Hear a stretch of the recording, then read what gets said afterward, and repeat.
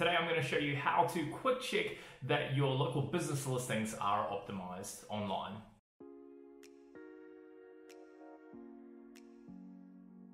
One of the oldest, easiest, and most effective ways of uh, ensuring that you increase your online visibility is by citation building. What is citation building? It's basically ensuring that your business information online is correct and consistent on all the major directories. And this is what we know as NAP name, address, and phone. Now, there are other things to consider there as well, like your uh, opening hours, including your website address, even your zip code.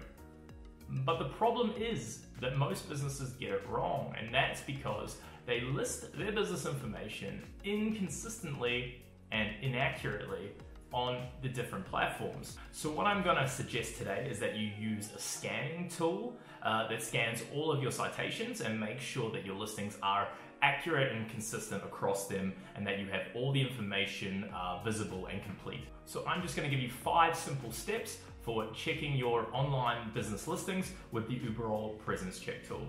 Step one, click on the link below in the description and it'll take you to a sign up page for our free presence check tool. Once you've filled out the form, it'll redirect you to a page that looks like this. Now, if you have locations in multiple countries, make sure you change the first tab before you put in your address or there will be an error.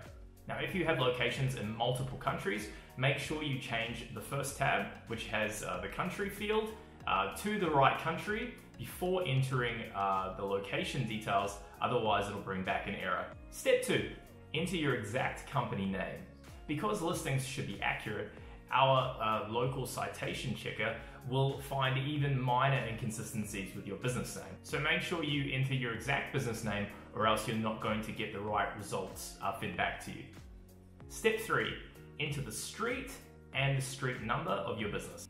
You can usually just copy paste uh, your street address and your zip code directly from uh, your Google My Business profile. Once you've copied pasted your street address and also your zip code, you can then click the check now button.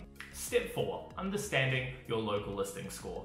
Our free listings tool will show you your listings accuracy across the most important directories in the country uh, that your location is in. At first sight, uh, the score for this particular Starbucks location in San Francisco looks pretty low.